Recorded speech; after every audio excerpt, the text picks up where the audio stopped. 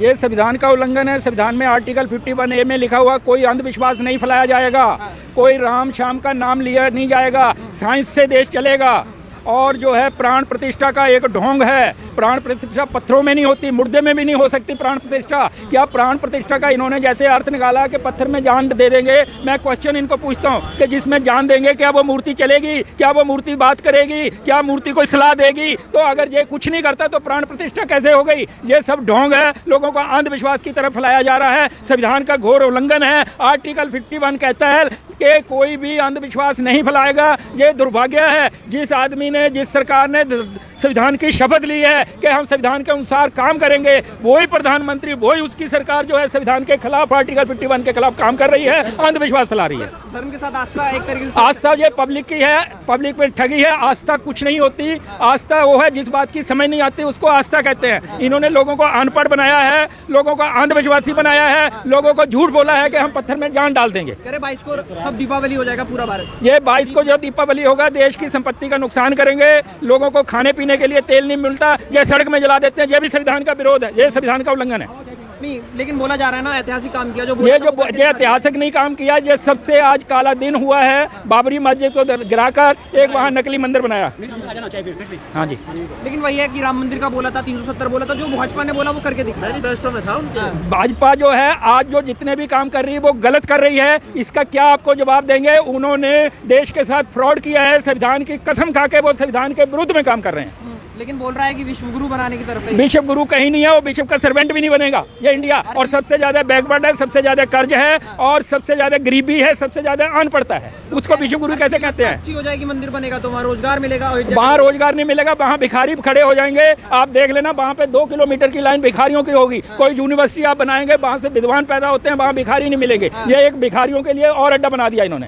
एक पत्रकार है वो तो ये कह रहे हैं राम मंदिर जाओगे तो ही पत्रकारों का मैं मुकाबला नहीं कर सकता पत्रकार अपने समझ से बोलते हैं। ये राम से नाम से धर्म के नाम से देश विकास नहीं करेगा देश साइंस से विकास करेगा। इंडिया इसलिए गरीब है कि यहाँ के जो सरकारें हैं यहाँ के जो प्रधानमंत्री है लोगों को अंधविश्वास देकर सत्ता में आते हैं और फिर लोगों का बेवकूफ़ बनाते हैं और लोगों को अनपढ़ रखते हैं। कह रहे चौबीस में भी मोदी जी की कोई काट नहीं है मंदिर जिता जो कह रहे हैं वो काट नहीं है लेकिन आज वकीलों ने ये ठाना है कि मोदी हेरा फेरी से आता है ईवीएम मशीन से आता है और इसके खिलाफ हमने संघर्ष करना है। सर सिखों को तो न्योता दिया गया है सिखों सिखों को। जो है हर तरह का आदमी है समझदार आदमी है बुद्धिजीवी है हर समाज में है। आप ये कहेंगे कि ब्राह्मण सारे बेवकूफ़ हैं नहीं ऐसा नहीं हो सकता।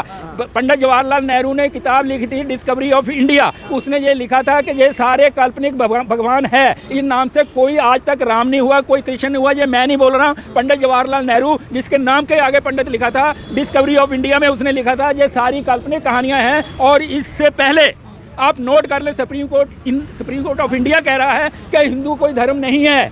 और हिंदू का कोई देवता भगवान नहीं है। ये सारी इन्होंने एक भेड़चाल बनाई हुई है और ये उससे नाम से चला रहे हैं। सर लाखों लोगों को रोज़गार मिल रहा है। रोज़गार कहीं नहीं मिल रहा है केवल ब्राह्मणों को रोज़गार मिलेगा वहाँ शूद्रों की एंट्री नहीं होगी बैकवर्ड की एंट्री नहीं होगी और पत्रकारों की एंट्री नहीं होगी सर सवाल तो सुनिए प्रधानमंत्री प्रधानमंत्री देश का उल्लंघन आज उसने बहुत घोर न्याय संविधान के साथ किया है। देश का संविधान उसने तार तार कर दिया। वो तो शूद्र हैं? प्रधानमंत्री प्रधानमंत्री शूदर नहीं है वो आरएसएस का काम है और आरएसएस का एजेंडा ही है लोगों को। लोगों को अंध भगत बनाना लोगों को बेवकूफ़ बनाना।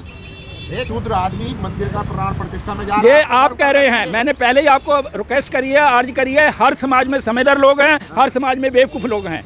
और वो आप ये लगा लें कि भगवान वो आज प्रधानमंत्री क्या काम कर रहा है? साइंस का देखो संविधान के आर्टिकल 51 में लिखा हुआ है कि कोई भी सरकार आएगी साइंटिफिक वैल्यू बढ़ाएगी जो अंधविश्वास करेगा पब्लिक के साथ, अनपढ़ के साथ, वो एक क्राइम है उसको पनिशमेंट दिलवाएगी। आज मैं सरप्राइज़ हो रहा हूँ कि देश की सरकार प्रधानमंत्री के अंदर में जो है, वो पूरे देश में अंधविश्वास फैला रही है। किस नाम से? प्राण प्रतिष्ठा के नाम से। मेरे को एक आदमी भी आप इंटरव्यू ले रहे हैं, किसी को ये बता दो कि जिस पत्थर में इन्होंने प्राण प्रतिष्ठा करी कि वो आपकी तरह बात करता, प्राण आप में है, आप में है, आप में है। पत्थरों में प्राण नहीं है।